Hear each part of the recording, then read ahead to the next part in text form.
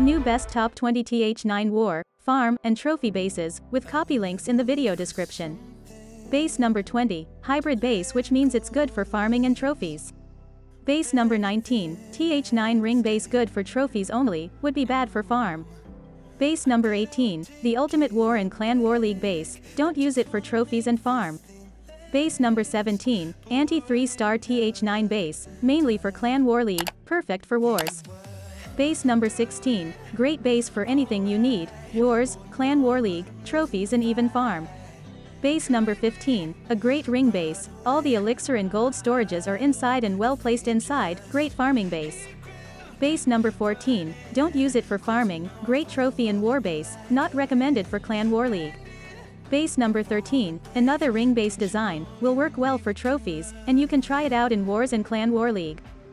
Base number 12, a great farming base, well designed, will work in Wars and as a trophy base.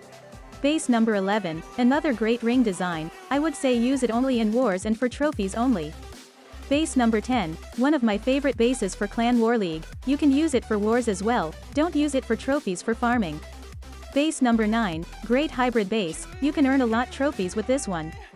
Base number 8, trophy and war base, don't use this one for farming.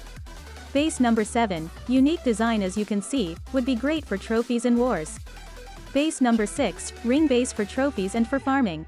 Base number 5, Clan War League and War Base, don't use it for farming or trophies.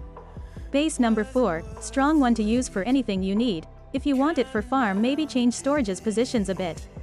Base number 3, the Island TH9 base, use it for wars and for trophies. Base number 2, trophy and farm base, you can try it in wars as well. Base number 1, the perfect base for everything, strong in wars or clan war league and pretty much overall amazing base.